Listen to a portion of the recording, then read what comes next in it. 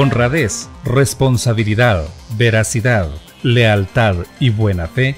fueron palabras utilizadas por el presidente de la Corte Suprema de Justicia, doctor Óscar Armando Pineda Navas, para describir el ejercicio del derecho, en el primer acto solemne de juramentación de abogados y abogadas de la República del año 2015. Ceremonia en la cual 103 profesionales realizaron su protesta de ley con el acompañamiento de los magistrados Dr. Ovidio Bonilla Flores, de la Sala de lo Civil, licenciada Loli Claros de Ayala, de la Sala de lo Contencioso Administrativo. En ocasión especial, los magistrados de la Sala de lo Constitucional recibieron un ejemplar de la Constitución promulgada en 1983. El documento histórico contiene el texto original y las firmas de los diputados constituyentes y fue entregado por la familia del recordado expresidente Dr. Álvaro Magaña como un reconocimiento al trabajo desarrollado por la sala. Los magistrados reconocieron el valor que posee este documento como un instrumento que originó cambios y transformaciones en la historia del país, destacando además el aporte que dejó el doctor Álvaro Magaña en temas como Hacienda Pública y su habilidad como escritor en Derecho Constitucional. El doctor Magaña fue el presidente llamado a tomar el poder de forma provisional en 1982, mientras la Asamblea Legislativa redactaba una nueva constitución. El ejemplar de la constitución tendrá un sitio preferencial en la biblioteca de la Sala de lo Constitucional. Con el propósito de promover los derechos de la niñez y juventud en el país, respetarlos y garantizarlos sin distinción para el desarrollo de la niñez y juventud salvadoreña, usuaria del sistema judicial, operadores judiciales esta semana recibieron el módulo La Convención sobre los Derechos del Niño,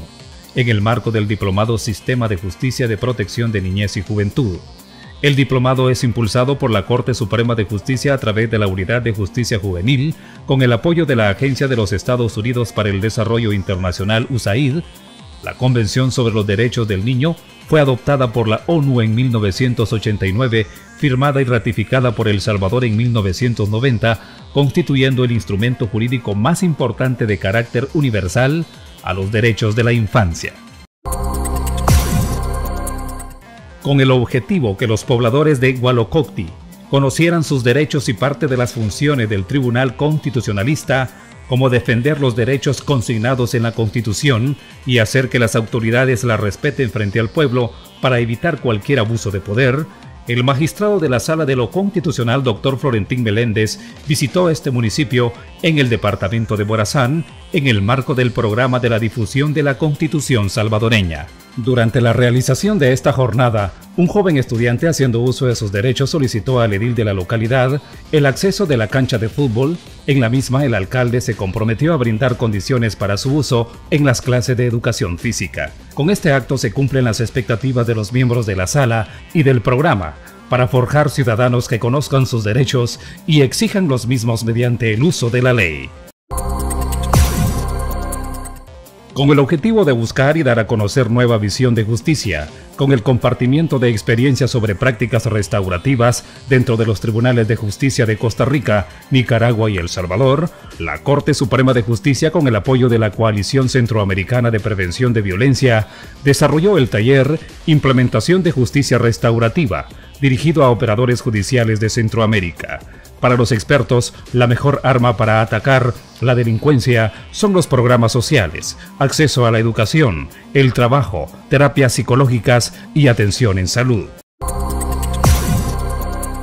La Corte Suprema de Justicia avisa a los abogados y abogadas que realizaron la prueba de suficiencia para el ejercicio de la función pública del notariado el mes de noviembre de 2014 que está abierto el proceso de notificación electrónica de los resultados obtenidos en dicho examen, por lo que deberán acceder a ellos a través de www.csj.gov.sb.